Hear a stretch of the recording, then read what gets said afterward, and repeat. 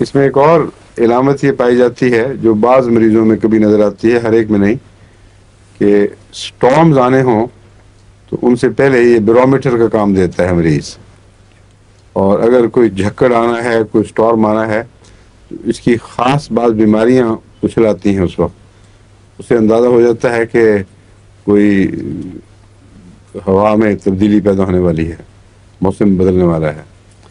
ख़ास तौर पर डस्ट स्टॉर्म से पहले मैंने रब्बा में बाद बच्चों को देखा था कि वो दमे की इलामतें उनकी डस्ट स्टॉर्म से पहले ही ज़ाहिर हो जाती थी। उनमें बराठा कार मुफीद है। ना, कलकेरिया कार जहन साफ़ होता है, उस पर कोई बद असर नहीं। सिवाय इसके कि लंबा अरसा तक जहनी काम नहीं कर सकता, थक जाता है। और ये इलामत हर जिसम के दूसरे हिस्से से भी ताल्लुक़ रखती है। इसलिए हम इसे जहनी इलामत के तौर पर अलग नहीं कर सकते। जब सारा सिस्टम ही फ्लैट, मस्कुलर सिस्टम और खून का निज़ाम सारा फ्लैबी हो जाए, उसमें जान कम हो तो दिमाग में भी जब हम काम करते हैं तो खून का रश दिमाग की तरफ़ जाता है। और ये अज खुद नहीं होता, उसमें मसल्स एफर्ट कर रहे होते हैं। और जब मसल्स में जान ना रहे तो आहिस्ता आहिस्ता खून वापस सिरक कर अपनी नॉर्मल हालत पे आ जाता है। इसलिए कहते हैं कि ये जो नक्शा खींचा गया उसकी वजह यह है कि मरीज़ जिसका सारा निज़ाम ही कमज़ोर है, वो दिमाग को देर तक खून की सप्लाई मुहैया नहीं कर सकता। इसलिए कुछ देर कंसंट्रेट करेगा, फिर थक जाएगा, फिर थोड़ी देर के बाद आराम किया, फिर लंबी कंसंट्रेशन नहीं हो सकती।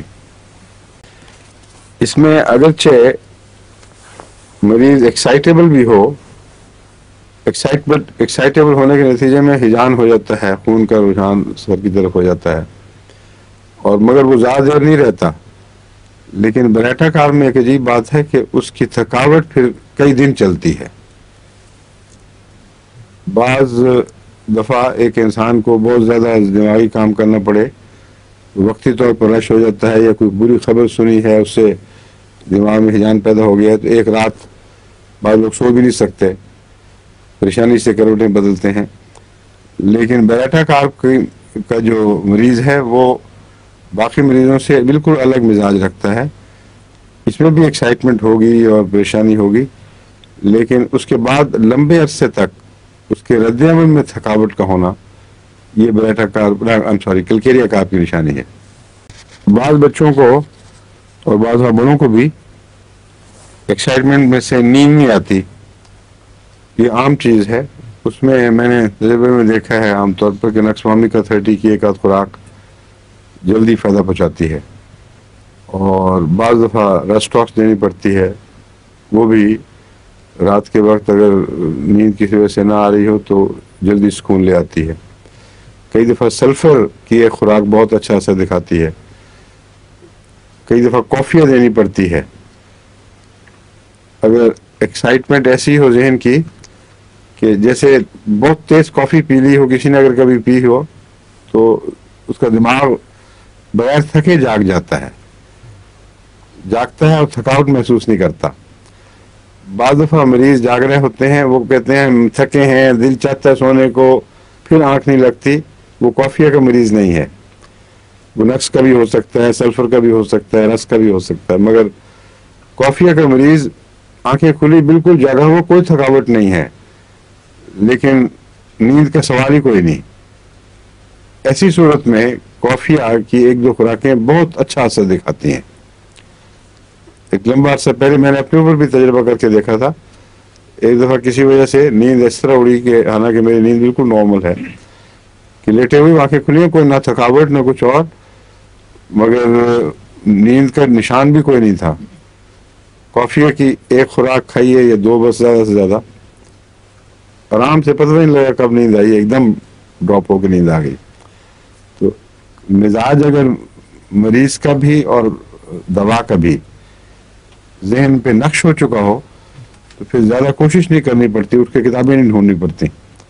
फ़ौरन वक्त के ऊपर वो चीज़ याद आ जाती है। इसमें जो ए, मरीज़ जो एक्साइट हो जाता है तो उसको कई किस्म के नज़ारे दिखाई देते हैं फिर, कलकेरिया काब में। इसमें जब नींद नहीं आती, मरीज़ को खा बड़ा हो या बच्चा हो, उसको कई तरह से मसलन नोकदार चीज़ें दिखाई देने लगेंगी, और कुछ ऐसे ऑब्जेक्ट्स जो नज़ारे के सामने नाचते हैं या अचानक तस्वीर ज़ाहिर हो जाती है। आँखें बंद हैं, फिर भी देख रहा है। ये कलकीरिया का की खास इलामत है। ये वो नहीं है जो भूत वाला मैंने बताया था, वो बिल्कुल और चीज़ है।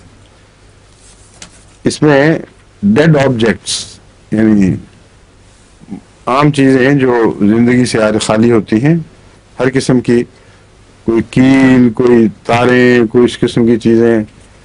उसमें कुछ एहसास होता है, जैसे कुछ चुभने वाली या काटने वाली चीज़ हो।